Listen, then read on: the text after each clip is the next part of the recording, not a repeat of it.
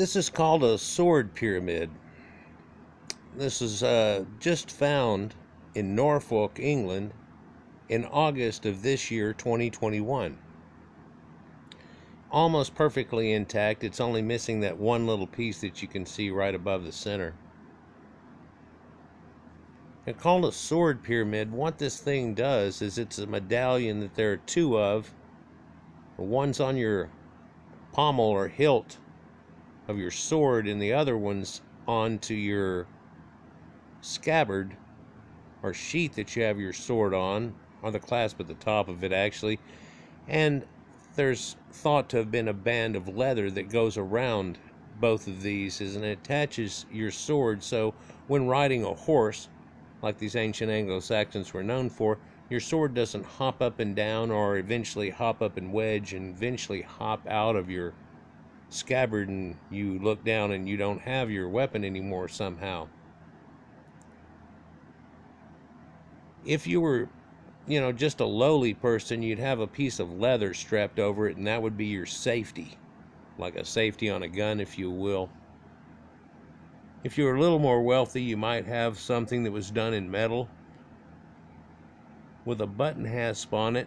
And a lot of these, they don't know how they were attached because they don't have the leather anymore. It rotted away. But some people have decided, you know, these things are very small. They're one. This is a one centimeter cube made into a pyramid, with the top of the pyramid knocked off, like you see on a dollar bill. And so it's also thought that that strap attached to the other, attached to this one, might go around it in a way that a guitar strap goes around, where there's a slit cut into it, and it would thump over this and then be caught on it and not be able to move from that point. Other people say that that would still allow it to move slightly in its in its hilt, and they would probably wrap the thing around. Either way, this is kind of comically thought of as being a safety for your sword because you'd have to actually take this thing and clip it off. It would effectively be like whenever you unbuckled your gun when you let somebody know uh, it's fixing to happen here and you'd have to unbuckle it. If you unbuckled your sword, you'd be like, "I've about had it with what's going on here or show that you're very aware of what's fixing to go on if things don't change quickly. What's so cool about these is the more fancy ones, of course, and more elite people had ones that were inlaid like this of gold and inlaid with garnets. And if you look closely, you can see, like in the middle of the pyramid there on the top, where it's scratched with fine, fine lines, like in a gold foil, and put below that stone. So not only does the stone, see through like a stained glass window and look beautiful, but there's a faceting to it by that effect rather than a faceted stone effect like we think of a diamond today and so on. In fact, the shape of the thing is a diamond faceted object. They're filling it in.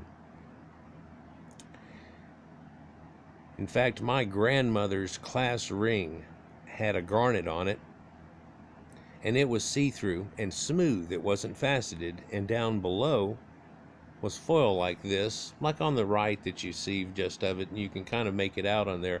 If you look at the four around there, the light's not quite catching it, but if the light does catch, it gets through and gets this gleam, and these lines shine back through it.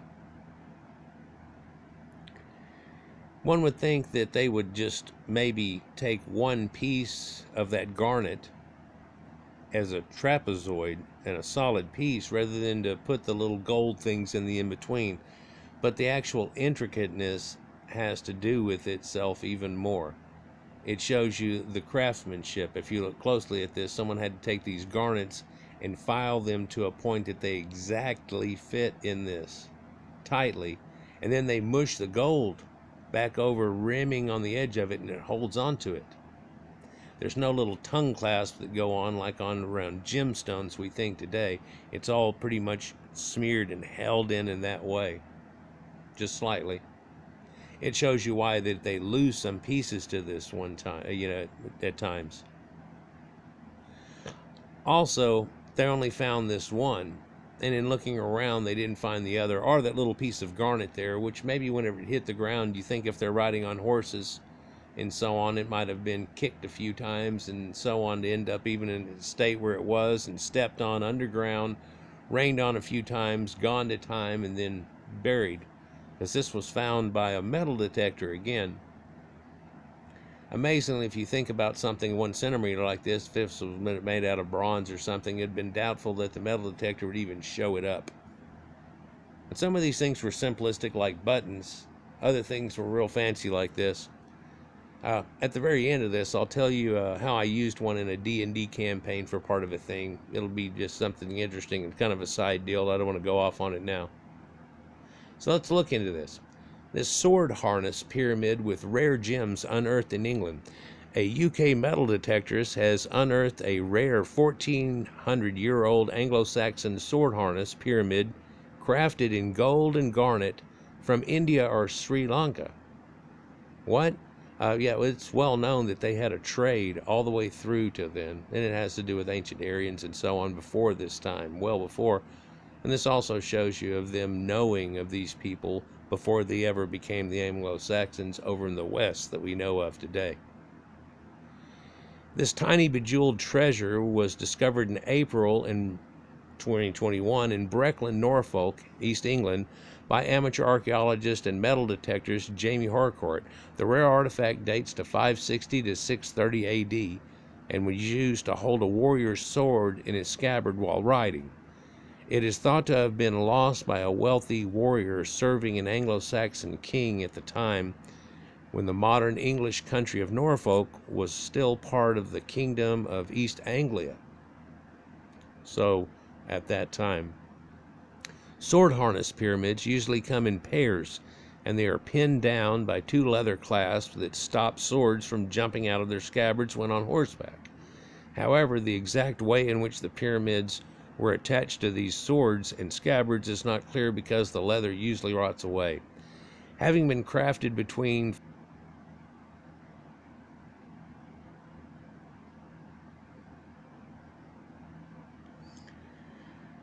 Having been crafted between 560 and 630 AD, the sword harness pyramid was functional when Norfolk was still part of the powerful Anglo Saxon kingdom of East Anglia that wasn't fully absorbed into the Kingdom of England until 918 AD. So here's another look at it here and a close up of it here on the right, and in there you can see the light catching through the garnets that are on there. The pyramid was just over a centimeter square at the base and was used to secure swords into their scabbard. So much like a four-sided dice, if you ever see those in in the game. A rare but not unique sword harness pyramid. The sword harness pyramid is highly ornate and would have sparkled in the sun when attached to the ends of two leather bands and wrapped around the hilt of a sword. Finds the liaison officer at Norfolk's coroner's office, Helen Geake, and she told BBC News that finding just one pyramid was like losing one earring. So, being a lady, she can connect it to that. It's like, what because it takes two usually. It's very annoying. The complex, multifaceted garnets that decorate the pyramid were individually cut when ground into the required shapes, and while this is certainly a rare discovery, it's not really unique. Discoverer and metal detectorist Jamie Harcourt told Treasure Hunting that the find represented his first post lockdown outing and that it was the find of a lifetime for him. I'm sure it was. However, he pointed out that the artifact is very similar to those examples recovered during the world famous 1939 excavation at Sutton Hoo, the Staffordshire hoard. And uh, we've talked about that quite a bit. I'm sure y'all have seen it. Here's one example of that, and you can see how much more intricate that was. Uh, you can also notice that the little inlays that are on it in each side might, in the very center of it, look a little bit like a cat's face but if you took that idea out of it, what we're looking at is a step pyramid here and a step pyramid here, and this is the sun. And then there are four seasons that go around it and stuff, and people have made up all this stuff about it. But look how intricate and how delicate this is. And how it wraps around to the top of the pyramid, if you will. And that there's extra blue, I don't know if this is lapis lazuli, I believe so, laid in on each side in diamond patterns in little bands with gold there, but then also in the very crest top of the pyramid, it has a perfectly made micro chessboard. Just just amazing.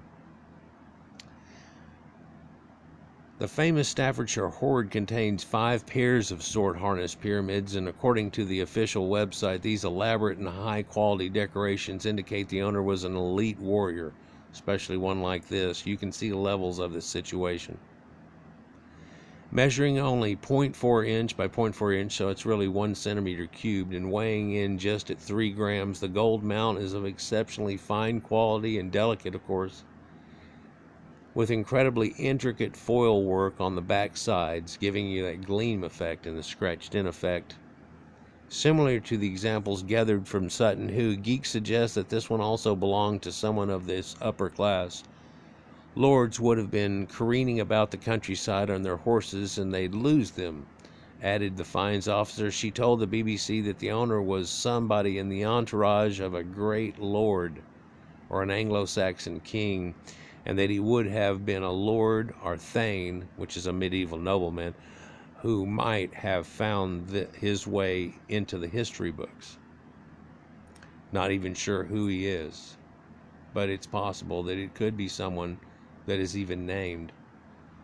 There's no initials or anything, and one thing that you thought would might happen a little bit later is that initials would be in that top pommel, right? And you'd see two little initials in there, or one, and this would designate who it was, but this is before any time like that's happening. Looking into the parts which construct the whole, the gold is used to form the pyramid mount which have been sourced in Britain. But the same cannot be said for the red garnets which were actually imported from India or Sri Lanka. Helen Geake noted that the gemstones had traveled a distance of more than 5,000 miles, underscoring the incredible global trade occurring at that time. Traditionally, Sri Lanka was known as Ratnadweepa, the gem island. Explorer Marco Polo wrote that the island had the best sapphires, topaz, amethysts, and other gems in the world. Middle Eastern and Persian traders began crossing the Indian Ocean to buy gems for trading during the 4th and 5th century. Now, this new discovery we have further evidence of an ancient trading network that channeled rare gemstones all the way from Sri Lanka to India and then to wealthy agriculturists in the Anglo Saxon England. So here we show a connection, I guess, that's much more far reaching than people were willing to give credit for. And also, it goes on much before this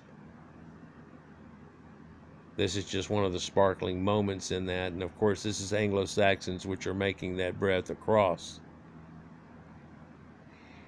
and finding, rarely finding their artifacts. But again, like this, just as well as the one that we just found, which is a little less intricate, no less rare of a finding, and nothing less of a finding actually. But uh, so my D&D type thing, what did I do on that? Well, so my characters, I had taken them through a whole bunch of adventures and they were well familiar with the land that they were in. But then one way of taking all these adventures that I hadn't done before and utilized was to pop them somehow into a distant land they had no idea.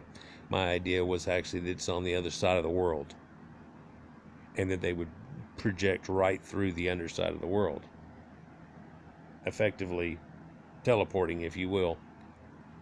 And so they end up in a different place. Or what they actually find out is that they ended up in the same place after two or three more other adventures happen, but it's at a different time. So whenever they come back, it was at a different time and they didn't recognize it. And something bad had happened, and there was this big sea of glass that was in what would be uh, an area they knew was a desert before. And then they had to find their way back out of that, which involved a Merlin type character, and they went through a bunch of portals and went through time to different places and positions in time that he had saved on old tablets that were like Sumerian tablets that they had to go through a portal that he would make and go and come back. Got the idea from the Star Trek episode where the guy with the bald head and everything, the ancient wizards there in the library. Yeah, it was very much like that. But what was the deal with the sword pyramids here was that they, uh, in going into one of these towns, they found out a few adventures, and through going to the tavern and hearing rumors and stuff that go around, possibilities of what they could go into and find out about that would lead to the adventures in this land that they were in. And we'd already done this a few times, a little bit, so they were kind of familiar with what we were trying to do. In the process, um, one of the adventures was there's an old haunted cave that a guy that had stolen a warrior's stuff from long ago that they used to keep in the church there, basically, as a great warrior there. Somebody had stolen this or whatever and left, and there had been somebody had gone after him, but the guy that had gone after him was not trusted in any way. In fact, they thought that he was the one that had stole it until people said that he went after him. And uh, that's because he was going to track him down, probably try to steal it too. And then one lady saw him, the first guy, running into this cave. And this is the haunted cave, and nobody will go check it out really. So, ha ha ha. Last time somebody tried to check it out,